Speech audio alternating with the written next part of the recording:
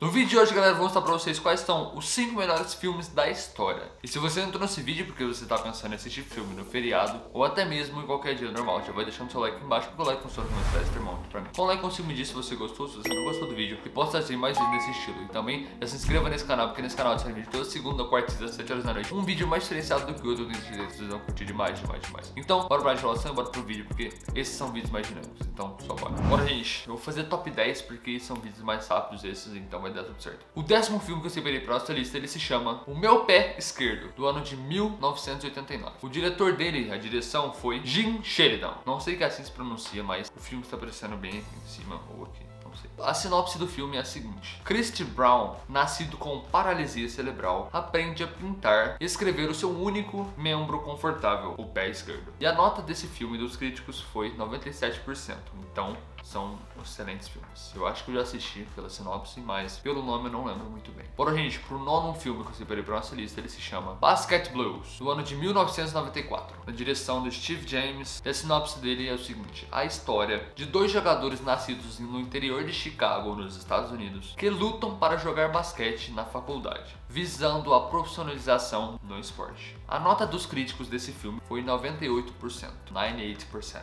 Bora, gente, pro oitavo filme que separei pra nossa lista, que no caso ele se chama O Labirinto de Fuano, no ano de 2006, um ano após eu ter nascido, que eu nasci em 2005. A direção foi Guilherme Del Toro e a sinopse do filme é a seguinte. Na Espanha falagista de 1944, a jovem afilhada de um sádico, oficial do exército, escapa para um estranho, mas cativante mundo de fantasia. E a nota dos críticos para esse filme foi 98% também, 98%. Bora, gente, pro sétimo filme que se perdeu pra nossa lista, que no caso ele se chama Moonlight, que seria, eu acho que Luz da Lua na tradução para o português. Moonlight sob a luz do luar. Foi lançado no ano de 2016, a direção Barry Jenks e a sinopse do filme é a seguinte: A crônica da infância, adolescência e explosiva fase adulta de um jovem americano, negro e gay crescendo em um bairro duro de Miami. E a nota dos críticos é 99%. Bora, gente, pro sexto filme que separei pra nossa lista, que no caso ele se chama Dançando na Chuva, no ano de 1952, com a direção de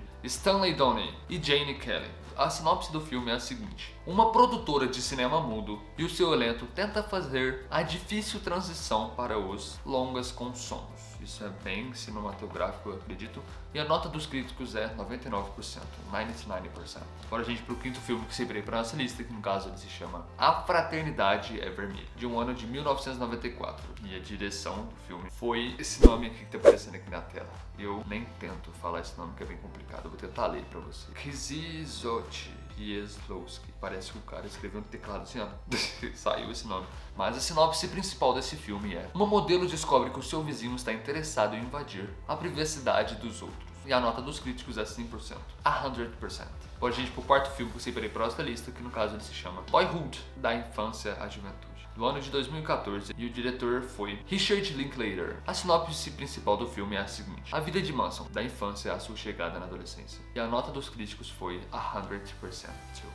100% também, gente. O terceiro filme que eu separei para nossa lista chama Casa Blanca, de 1994, do diretor Michel Kurtz. Sinopse principal do filme é a seguinte: Em dezembro de 1941, um americano expatriado cínico encontra uma ex-amante com complicações imprevistas. E a nota dos críticos desse filme também foi 100%. Bora, gente, pro segundo filme que separei para nossa lista, que no caso é O Poderoso Chefão, do ano de 1972 o diretor foi Francis Ford Coppola. A sinopse principal desse filme é a seguinte. O velho patriarca de uma dinastia do crime organizado transfere o controle do seu império clandestino para o seu filho relutante. E a nota dos jurados, dos críticos também foi 100%. 100%. E o último filme mais esperado dessa lista, que é Cidadão Kane, do ano de 1941 também. Esse ano surgiu vários filmes legais, interessantes. O diretor desse filme foi Orson Welles. A sinopse principal foi a seguinte: Após a morte de um magnata editorial, repórteres lutam para descobrir o significado das suas últimas palavras. E a nota dos jurados, dos críticos desse filme também foi a tão sonhada 100%, 100%. Já deixe seu like aqui embaixo, como eu disse no começo, o like funciona como faz ter muito pra mim. Um like consigo disso se você gostou, se você não gostou do vídeo e posso fazer mais vídeos desse estilo.